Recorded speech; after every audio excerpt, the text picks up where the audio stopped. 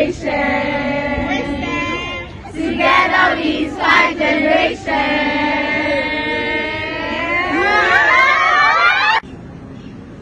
Hi, I am Safety Jamakawasana, a proud student from.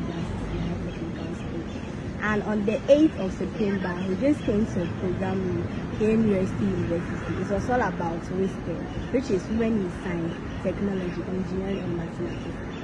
I was in the end, and we were assigned to talk about herbal ointment. When you say herbal ointment, it's an ointment made from herbs and other ingredients such as methyl salicylate, hard paraffin, soft paraffin, and so on. So when you use the herbal ointment, it will release your body pains and it will give you a nourishing skin. That's what I learned. And the aim of the wisdom is to empower girls to know how to talk in the society and how to develop their careers in the society. Please thank you.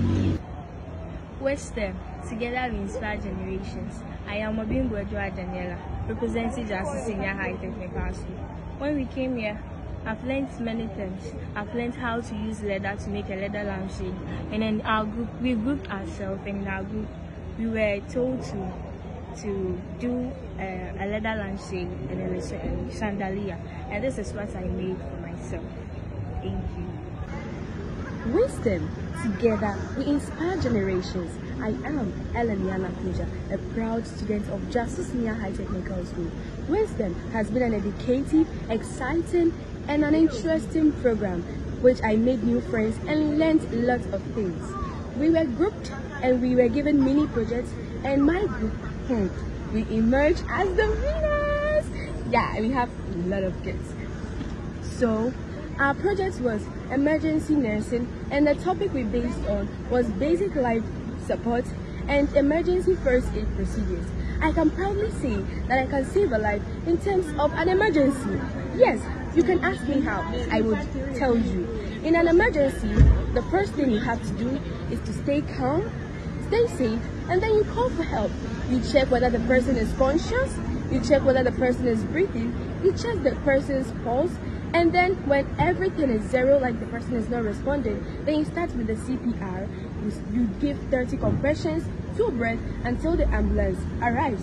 And through this project, we won. Yes, of course. It has helped me, and I can say I am trained and I can save a life in terms of an emergency. I also learned from the professors, doctors who were present, from their speeches, that I have to be bold and I don't have to be afraid of losing, because through this, I will learn from my mistakes and then the, my work today, my efforts will help me shape my future.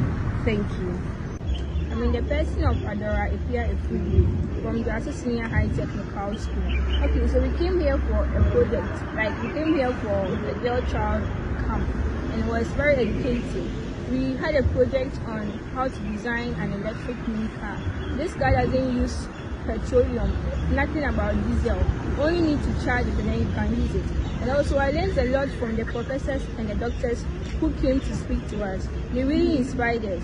I learned some of the courses and how you um, be able to achieve your dreams by hard work and perseverance and all. Thank you.